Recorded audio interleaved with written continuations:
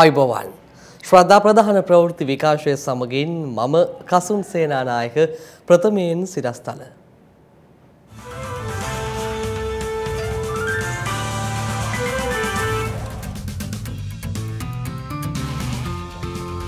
අධ්‍යන පොදු සහතික පත්‍ර සාමාන්‍ය පෙළ විභාගය හෙටින් ඇරඹෙයි විභාගයේ පැවැත්වෙන කාලසීමාව තුළ විශේෂ බස්රථ සේවාවත්. අනිද්දා මධ්‍යමරාත්‍රයේ සිට ක්‍රියාත්මක වන පරිදි ඉන්දන කෝටාව ඉහළ දැමීමට තීරණයක්. නැවතී ඇති මහාමාර්ග සංවර්ධන ව්‍යාපෘති යළි ඇරඹීමට රජයේ අවධහනය.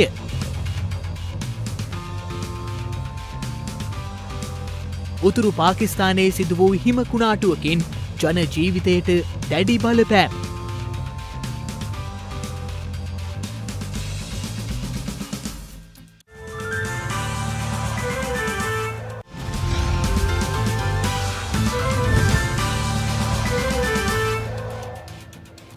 අධ්‍යන පොදු සහතික පත්‍ර සාමාන්‍ය පෙළ විභාගය හෙට ආරම්භ වීමට නියමිතව තිබෙනවා. එහිදී සිසුන්ගේ පහසුව වෙනුවෙන් ප්‍රවාහන කටයුතු සංවිධානය කර ඇති බවයි ප්‍රවාහන අංශ සඳහන් කළේ. මෙවර අධ්‍යන පොදු සහතික පත්‍ර සාමාන්‍ය පෙළ විභාගය හෙට ආරම්භ වීමට නියමිත අතර එය ලබන මස අටවනදා දක්වා පැවැත්වීමට නියමිතයි. මෙවර සාමාන්‍ය පෙළ විභාගය දිවයින පුරා විභාග මධ්‍යස්ථාන තුන්දහස් පන්සිය හැට අටකදී පැවැත්වීමට නියමිත අතර ඒ සඳහා අපේක්ෂකයින් හාරලක්ෂ හැත්ත ඇති දහස් පන්සිය පනස් තුන් දෙනෙකු පෙනී සිටීමට නියමිතව තිබෙනවා. මේ දරුවන්ගෙන් ඉල්ලා සිටිනවා පුළුවන් තරම් කලින් විභාග මධ්‍යස්ථානට යන්න ඒකම අපේ විභාගය තුළ නීතියක් තියෙනවා. පැය භාගයක් යනකන් විතරයි විභාගය ආරම්භ කරලා කරලා අපේක්ෂකයාව අපි මධ්‍යස්ථානට බාරගන්නේ. විභාග අක්‍රමිකතාවන් වැළැක්වීම සඳහා විභාග දෙපාර්තමේන්තුව දැඩි ක්‍රියාමාර්ග අරන් තියෙනවා. කිසිදු විභාග වංචනික ක්‍රියාවකට පෙළඹෙන්නට එපා. ප්‍රවේශ පත්‍රය මේ වෙනකොට සියලුම දරුවන් අතරට පත් වෙන්නට ඕන. යම් කිසි විදිහකට මේ ප්‍රවේශ පත්‍රය දරුවන්ට නොලැබීම නිසා යම් අපේක්ෂකවරු විභාගය ලියීම සඳහා යම් ගැටලුවක් ඇති වුණොත් එහි වගකීම විදුහල්පතිවරයා විසින් දැරිය යුතු බව මම අවධාරණය කරනවා. මෙවර සාමාන්‍ය පෙළ විභාගය සඳහා බන්ධනාගාරගත රැඳවියන් දහ දෙනෙකුද පෙනී සිටීමට නියමිත බවයි බන්ධනාගාර දෙපාර්තමේන්තුව සඳහන් කළේ. බන්ධනාගාරයේ මේ සාමාන්‍ය පෙළ උසස් පෙළ එවගේම උපාධිය සඳහා බන්ධනාගාර තුලින් ඉදිරිපත් වෙන සංඛ්‍යාව වැඩි වෙලා තියෙනවා. සතුටට කාරණයක් බන්ධනාගාර රැඳවියෙකු හැටියට ඉඳලා දහ දෙනෙක් මෙවර සාමාන්‍ය පෙළ විභාගය සඳහා ඉදිරිපත් වෙනවා.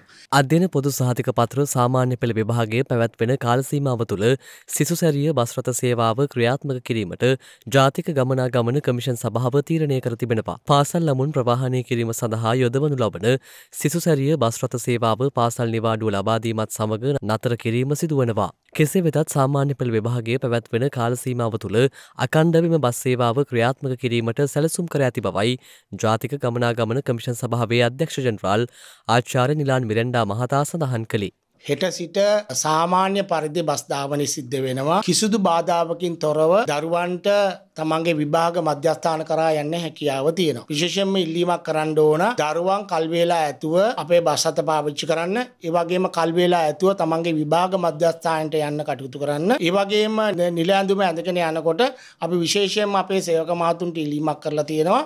ඒ විශේෂත්වයක් ලබා දෙන්න දරුවන් වෙනුවෙන් මුදල් ගැන හිතන්නත් එපා.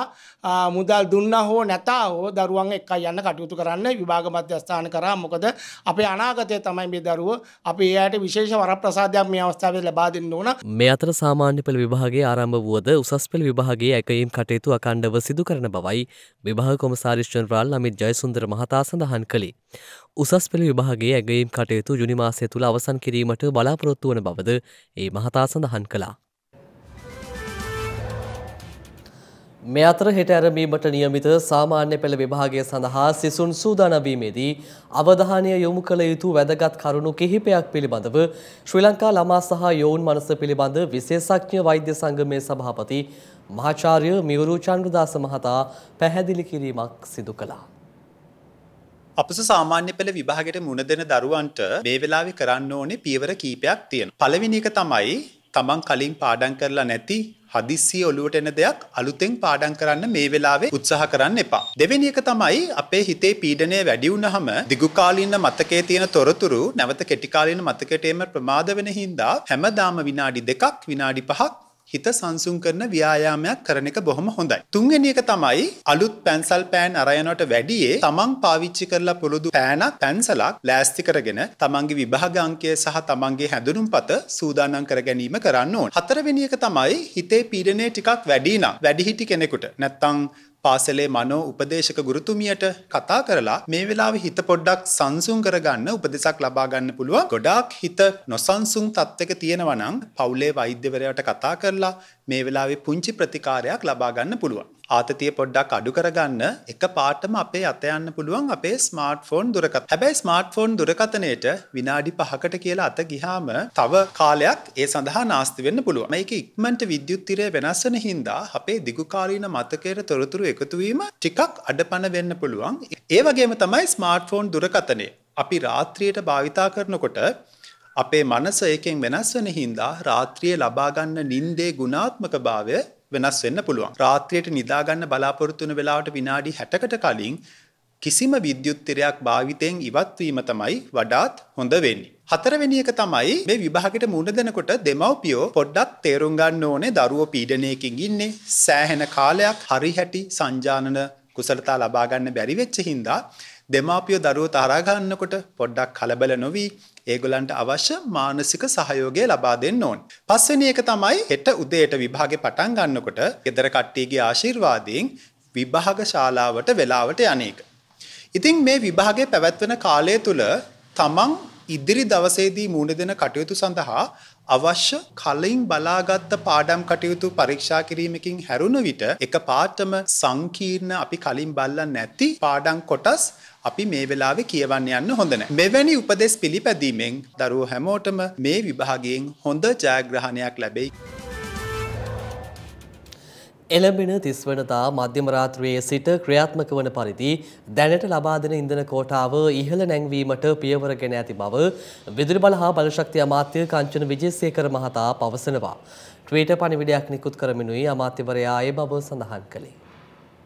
මැයි මස තිස්වනදා මධ්‍යම රාත්‍රයේ සිට ක්‍රියාත්මක වන පරිදි මේ වන විට ලබා දෙන ඉන්ධන කෝටාව ඉහළ නැංවීමට රජය පියවරගෙන තිබෙනවා. විදුලි බල හා බලශක්ති අමාත්‍ය කංචන විජේසේකර මහතා ට්වීට පණිවිඩයක් නිකුත් කරමින් සඳහන් කළේ යතුරු පැදියකට හා ත්‍රිරෝධ රථයකට ලබා දෙන ඉන්ධන කෝටාව ලීටර 14 දක්වා ඉහළ දමන බවයි. මීට පෙර යතුරු පැදියක් සඳහා ලීටර 7ක් සහ ත්‍රිරෝධ රථයක් සඳහා ලීටර 8ක ඉන්ධන කෝටාවක් හිමි වී තිබුණා. එමෙන්ම ලියාපදිංචි ත්‍රිරෝධ රථ සඳහා ලබා දී තිබූ ඉන්ධන කෝටාව ලීටර 15 සිට ලීටර 22 දක්වා ඉහළ දමා ඇති බවයි විශේභාර අමාත්‍යවරයා නිකුත් කළ ට්වීට පනිවිඩේ දැක්වුණේ. එමෙන්ම වස්රත සඳහා ලබා දී තිබූ ඉන්ධන කෝටාව ලීටර් 125ක් දක්වා ඉහළ නැංවීමට පියවරගෙන තිබෙනවා. වස්රත සඳහා මීට පෙර ලීටර් 60ක ඉන්ධන කෝටාවක් ලබා දීමට රජය පියවරගෙන තිබුණා. මීට අමතරව මෝටර රථ සඳහා ලබා දී තිබූ ඉන්ධන කෝටාව ලීටර් 30 සිට ලීටර් 40 දක්වා ඉහළ නංවා තිබෙනවා. එමෙන්ම ඩොලර් රථ සඳහා ලබා දී තිබූ ඉන්ධන කෝටාවද ලීටර් 75 සිට 125 දක්වා ඉහළ නැංවීමටයි පියවරගෙන ඇත්තේ. වෑන් රථ සඳහා ලබා දී තිබූ ඉන්ධන කෝටාව ලීටර් 30 සිට 40 දක්වා ලීටර් 10කින් ඉහළ නංවා තිබෙනවා. විශේෂ භාර අමාත්‍ය කංචන විජේසේකර මහතා සඳහන් කළේ ඉඩම් වාහන සඳහා ලබා දී තිබූ ඉන්ධන කෝටාව ලීටර් 25 සිට 45 දක්වා ඉහළ නංවන බවයි.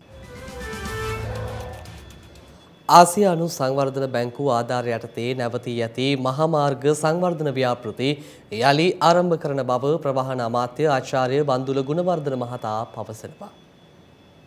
ආසියානු සංවර්ධන බැංකු ආධාරයටතේ නැවතී ඇති මහාමාර්ග සංවර්ධන ව්‍යාපෘති යළි ආරම්භ කරන බව ප්‍රවාහන මහාමාර්ග හා ජනමාධ්‍ය අමාත්‍ය ආචාර්ය පන්දුල ගුණවර්ධන මහතා පවසනවා. පාර්ලිමේන්තු සංකීර්ණයේ පසුගේදා පැවති ප්‍රවාහන හා මහාමාර්ග අමාත්‍යංශයේ උපදේශක කාරක සභා රැස්වීම අමතමින් අමාත්‍ය ආචාර්ය බන්දුල ගුණවර්ධන මහතා මෙම කරුණු පැහැදිලි කළා. එහිදී පක්ෂ විපක්ෂ බේදයකින් තොරව සියලුම පාර්ලිමේන්තු මන්ත්‍රීවරුන්ගේ ඉල්ලීම වූයේ දිවයිනේ සෑම ප්‍රදේශයකම මේ වන විට නැවතී ඇති මාර්ග සංවර්ධන ව්‍යාපෘතිවල ඉදිකිරීම් කඩිනමින් නැවත ආරම්භ කරන ලෙසයි. මේ වන විටත් ඉතාම අවලන්තත්වේ පවතින බොහෝ මාර්ග අලුත් වැඩියාවන් සිදු නොවනහොත් ඉදිරියේදී මහජනතාවට යෑමට ඒමට පවන් නොහැකිවන තත්වයකටම පත්වනු ඇති බව මන්ත්‍රීවරුන්ගේ අදහස වී තිබෙනවා. එහිදී අදහස් දක්වමින් ප්‍රවාහන අමාත්‍ය බන්තුල ගුණවර්ධන මහතා සඳහන් කළේ අන්තර්ජාතික මූල්‍ය අරමුදල සමඟ ඇතිකරගෙන ඇති ගිවිසුම් ප්‍රකාරව ශ්‍රී ලංකාවේ ණය ප්‍රතිව්‍යහගත කිරීමක් සිදු කරනතුරු මෙරටට ලබා දෙන ණය ආධාර නවතා ඇති බවයි. ඉතිහාසේ පටන්ම රට තුළ සිදුකරන ලද මාර්ග සංවර්ධන ව්‍යාපෘති බහුතරයක් ක්‍රියාත්මක වී ඇත්තේ විවිධ විදේශ සංවිධාන සහ රටවලින් ලබාගත් නය ආධාර මුදල් යටතේ බවද අමාත්‍යවරයා අවධාරණය කලා. කෙසේ නමුත් රට තුළ මාර්ග පද්ධතියේ පවතින දැඩි අබලන් ස්වභාවය පිළිබඳව විශේෂ අවධානය යොමු කරමින් අවම වශයෙන් අයිරෝඩ් ඒකාබද්ධ ග්‍රාමිය මාර්ග ආයෝජන ව්‍යාපෘතය යටතේ ආරම්භ කරන ලද අත්‍යවශ්‍යම මාර්ග ව්‍යාපෘති සඳහා හෝ ඒවා කඩිනමින් අවසන් කිරීම සඳහා ඇමරිකානු ඩොල මිලියන පනස්තුනක නය මුදලක් ලබා ගැනීම සඳහා ප්‍රවාහන හා මහාමාර්ග අමාත්‍යංශය විසින් ආසියානු සංවර්ධන බැංකුවෙන් විශේෂ ඉල්ලීමක් සිදුකර ඇති බවද අමාත්‍යවරයා එහිදී අවධාරණය කලා. ඒ අනුව ඒ පිළිබඳව සාකච්ඡා සාර්ථක මට්ටමින් සිදුකෙරමින් මේ වන විට අවසන් අධීරයේ පවතින බවයි අමාත්‍යවරයා සඳහන් කළේ. ඒ අනුව විශේෂ ප්‍රමුඛතාවයක් ලබා දෙමින් සංවර්ධනය කළ යුතු අත්‍යවශ්‍යම මාර්ග හඳුනා ගැනීම සඳහා ආසියානු සංවර්ධන බැංකුවේ නියෝජිතයන් විසින් අදාළ මාර්ග නිරීක්ෂණය කිරීමට නියමිතයි. මෙහිදී දිවයින පුරා ක්‍රියාත්මක කෙරෙන ප්‍රාදේශය සංවර්ධන කමිටු හරහා මේ වන විට ගමනාගමනයට ඉතාමත් අපහසු තත්වයේ පවතින මාර්ග හඳුනා ගැනීමට සහය ලබාතිමින් ආසියනු සංවර්ධන බැංකුවේ ණය ආධාර යටතේ ඉල්ලීම් කර ඇති අතර ආසියානු සංවර්ධන බැංකු ණය ආධාර යටතේ ඉල්ලීම් කර ඇති මෙම ඩොල මිලියන පනස්තුනක ණය මුදල ලැබුණු වහාම එම කටයුතු ආරම්භ කිරීම සඳහා අමාත්‍යංශ නිලධහරින් වෙත අමාත්‍යවරයා උපදෙස් ලබාදී ඇති බවයි වාර්තාවන්නේ. මේ දිනවල දරුවන් අතර රෝග ගණනාවක් පැතිර යන බව ළමාරෝග විශේෂඥ වෛද්‍ය දීපාල් පෙරේරා මහතා පවසනවා. ඒ අනුව දෙමාපියන් ඒ පිළිබඳව අවධානයෙන් කටයුතු කළ යුතු බවයි ඒ මහතා වැඩිදුරටත් සඳහන් කළේ. ශේරෝගයක් ස්වසන රෝගයක් ශරෝගය තියෙන පුද්ගලෙක් කැස්සොත් මයිකබැක්ටීරියම් ටියබකිලෝසිස් කියන බැක්ටීරියාව තව කෙනෙක්ට ශරීරගත වුණොත් පෙනහළු රෝගයක් විදිහට හැදෙන්න පුළුවන්. ඒ නිසා කාලයක් කැස්ස තියෙන කෙනෙක් විශේෂම් සති දෙකට වැඩි කාලයක් කැස්ස තියෙනවා නම් වැඩිහිටියෙක්ට හරි දරුවෙක්ට හරි සාමාන්‍ය පරීක්ෂණ අපිට කළා පෙනහළු බලලා ඊට අමතරව රුධිර පරීක්ෂණත් කරලා බලලා සෙම ටිකක් පරීක්ෂා කරලා බලලා ක්ෂය රෝගයද කියලා හොයලා බලන්න පුළුවන්. ඩෙන්ගු ඇරුණාම බෝවන රෝගයක් විදිහට ඊළඟට වැඩිපුරම වාර්තා වෙන ක්ෂය රෝගය. සාමාන්‍යයෙන් සති දෙකට වැඩිය කැස්සක් දිගට පවතිනවා නම් අනිත් රෝග ලක්ෂණ විදිහට බර අඩුවීම ආහාර රුචි අඩුවීම අර ඒ වගේ රෝග ලක්ෂණ ඇතුව හෝ නැතුව සති දෙකකට වැඩිය කැස්ස පවතිනවා නම් මේක ක්ෂය රෝගෙද කියලා හොයලා බලන්න. විශේෂයෙන්ම මේ දවස්වල ඩෙන්ගු රෝගය සීඝ්‍රයෙන් පැතිරෙනවා. ඩෙන්ගු විතරක් නෙමෙයි ඉන්ෆ්ලුවෙන්සා රෝගයත් ඊටාම සීඝ්‍රයෙන් පැතිරෙනවා. කොවිඩ් රෝගිනුත් වාර්තා වෙනවා. ඒ නිසා ගෙදරදීත් පාසලේදීත් මදුරෝ දෂ්ට කරන එක අවම කරගන්න එක මම හිතන්නේ අපි හැමදෙනාගේම යුතුයකමක්. විශේෂයෙන්ම සමාජයක් විදියට ඩෙන්ගු මදුරුව බෝ වෙන එක අවම කර ගැනීම අපේ යුතුයකමක්. ඊට අමතරව ශ්වසන රෝගයක් විදියට ඉන්ෆ්ලුවෙන්සා හරි කොවිඩ් හරි රෝගීන් පැතිරෙනවා නම් ඒ ගැනත් අවධානය යොමු කරන්න විශේෂයෙන්ම රෝග ලක්ෂණ විදිහට කැස්ස සෙම් ප්‍රතිශ්‍යාව සමග උණ තියෙනවා නම් සමහර වෙලාවට වමනෙත් යනවා නම් මේක ඉන්ෆ්ලුවෙන්සා වෙන්න පුළුවන්. එහෙම රෝග ලක්ෂණ තියෙන අය මුඛාවරණයක් පැනඳගෙන තමන්ගේ විභාගය කරන්න. රෝග ලක්ෂණ නැති අයට ලේසියෙන්ම බෝ වෙන්න පුළුවන් නිසා තමන් අනුන් ගැනත් හිතන්න. තමන්ගේ අධ්‍යාපනයත් කරගෙන යන්න. ඉතින් ඒක මේ කඩයිම අපි කරගත යුතුමයි. ඉතින් එතෙන්දී මදුරෝ දෂ්ට කරන එක අවම කරගන්නවා වගේම ඉන්ෆ්ලුවෙන්සා හෝ කොවිඩ් හදාගන්න එක ඒ රෝගයට බෝ වෙන එකත් අවම කර ගැනීම අපේ යුතුකමක් අමතක කරන්න එපා. කොවිඩ් වලදී අනුගමනය කරපු ක්‍රියාපිළිවෙත විශේෂයෙන්ම ඒ දුරස්ථභාවය ඒ වගේ දේවල් මේ කාල සීමාවේදී පාවිච්චි කරොත් අපිට මේ රෝගේ හැදෙන එක අවම කරගන්න පුළුවන්. විශේෂයෙන්ම ඉන්ෆ්ලුවෙන්සා සහ කොවිඩ් දෙකම එක වගේ විදිහට තමයි අපි පාලනය කරගත යුත්තේ. උණ දවස් දෙකක් තුනක් තියෙනවා නම් ඩෙන්ගුද කියලා හොයලා බලන්න. ඉක්මනට අඳුරගත්තේ නැත්නම් සමහර වෙලාවට රක්තපාත උණ සහ කම්පන තත්ත්වයන්ට පත් වෙන්න පුළුවන්. අද වෙනකොට ඩෙන්ගු රක්තපාත උණ රෝගීන් 13 දෙනෙක් වාර්තා වෙනවා. ඉතින් ඩෙන්ගු රක්තපාත කියන්නේ මාරු තත්ත්වයක්. ඒ වෙලාවේදී ලේ ගැලීම් සිදු වෙන්න පුළුවන්. වෙන හලුවලට, ආමාශයට, අක්මාවට, ආරමාර්ගයට සහ සමහර වෙලාවට මොළයට තුවාලවලින් ලේ ගණන් පුළුවන්. ඒ වගේ වෙලා ඊට අමතරව ඇඟේ රුධිර පීඩනය අඩු වෙන්න පුළුවන්. ඒකත් එක්කම අපිට කම්පන තත්ත්වයන්ට යන්න පුළුවන්. ඒ නිසා ඩෙන්ගු රක්තපාත වුණ තත්ත්වයට යන්න පුළුවන් ඩෙන්ගු රෝගීන් ඕන කෙනෙක්ට. විශේෂයෙන්ම දෙවෙනි සැරේට ඩෙන්ගු හැදුනොත් යන්න පුළුවන් මේක. ශ්‍රී ලාංකිකයින් නීති විරෝධී සංක්‍රමණිකයින් ලෙස බ්‍රිතාන්‍යයට පැමිණීම වැළැක්වීමට සහයෝගය දක්වන ලෙස බ්‍රිතාන්‍ය මහ කොමසාරිස් සාරා හල්ටන් මහත්මිය ඉල්ලීමක් කර තිබෙනවා. පොදු රාජ්‍ය හා සංවර්ධන කාර්යාලයේ ඉන්දු පැසිෆික් කලාපිය අධ්‍යක්ෂ සහ ඉන්දියාවේ අධ්‍යක්ෂ බෙන් මෙල මහතා ශ්‍රී ලංකාවේ සංචාරය අතරතුර බ්‍රතාන්‍ය මහකොමසාරිස් සරා හල්ටන් මහත්මිය සමග මහජන ආරක්ෂක අමාත්‍ය ටිරාන් අලස් මහතා හමු වී තිබෙනවා. ඒ මහජන ආරක්ෂක අමාත්‍යංශයේදී. එහිදී රටේ වත්මන් තත්වය පිළිබඳව සහ නීති විරෝධී සංක්‍රමණ පිළිබඳව දීර්ඝ වශයෙන් සාකච්ඡා කර තිබෙනවා. එහිදී බ්‍රතාන්‍ය මහකොමසාරිස් සරා හල්ටන් මහත්මිය විසින් මහජන ආරක්ෂක අමාත්‍ය ටිරාන් අලස් මහතාගෙන් ඉල්ලා ඇත්තේ ශ්‍රී ලාංකිකයන් නීති විරෝධී සංක්‍රමණිකයන් ලෙස බ්‍රතාානයට පැමිණීම වැලක්වීමට සහයෝගය දක්වන ලෙසයි. එමෙන්ම ත්‍රස්තවාදය වැලක්වීමේ පනත පිළිබඳවද එහිදී දීර්ඝ වශයෙන් කරුණු සාකච්ඡා වී තිබෙනවා. එහිදී මහජන ආරක්ෂක අමාත්‍ය ටිරාන් අලස් මහතා පවසා ඇත්තේ මෑතකදී බ්‍රතාානයද නව නීති හඳුන්වාදුන් බවත් එම නීති හඳුන්වාදීම රටේ නීතිය හා සාමය පවත්වා ගැනීමට අනිවාරයෙන්ම අත්‍යවශ්‍ය වන බවයි. මෙ අතර ශ්‍රී ලංකා පොලිසි නිලධාරීන් වෙත නීතිරීති භාවිතය පිළිබඳව පුහුණු වැඩමුළුවක් සූම් තාක්ෂණය ඔස්සේ බ්‍රතාන්‍ය පොලිසියද සම්බන්ධ කරගනිමින් සංවිධානය කිරීමට කටයුතු කරන බව බ්‍රතාන්‍ය මහකොමසාරිස් සරා හල්ටන් මහත්මිය එහිදී ප්‍රකාශ කර තිබෙනවා.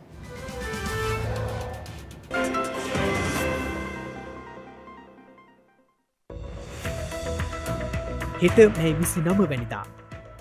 දෙදහස් පන්සිය වසරක සිංහල බෞද්ධ සංස්කෘතියේ ගමන් මග අතැබුලක්සේ හදාරමින් මෙරට සිංහල සාහිත්‍ය සුපෝෂණය කළ මාටින් වික්‍රම සිංහ ශූරිහු උපත ලබා ඇත්තේ එක්දහස් අටසිය අනුව වසරේ මැයි මස විසි නම වන දිනයි. ශ්‍රී ලංකා කණජිතෙල් නීතිගත සංස්ථාව ආරම්භ කර ඇත්තේ එක්දහස් නම්සේ හැට දෙක වසරේ මැයි මස විසි නම වන දිනයි. ලොව උසම කන්දවන එවරස්ට් කන්ද මුදුන තරණය කළ පළමු පුද්ගලයින් බවට නවසිලන්ත කඳුරගින්නන්න වන එඩමන් හිලරි සහ ශර්පා ටෙන්සින් නෝගේ පත්ව ඇත්තේ එක්දහස් නමසේ පනස්තුන වසරේ මැයි මස විසි නම වන දිනයි. එත් සමගින් ශ්‍රද්ධා ප්‍රධාන ප්‍රවෘත්ති විකාශය නිමාවට පත්වෙනවා හමුයමු හෙටත් සවස හය ඇතිහට තෙරුවන් සරණයි නම බුද්ධය. මේ ප්‍රවෘති හැබැයි වෙනස්. මෙවැනි වැදගත්පුවත් නැරඹීම සඳහා ශ්‍රද්ධා TV නිවස් YouTube චැනලය සබස්ක්‍රයිබ් කර සීනුව සලකුණ වන්න.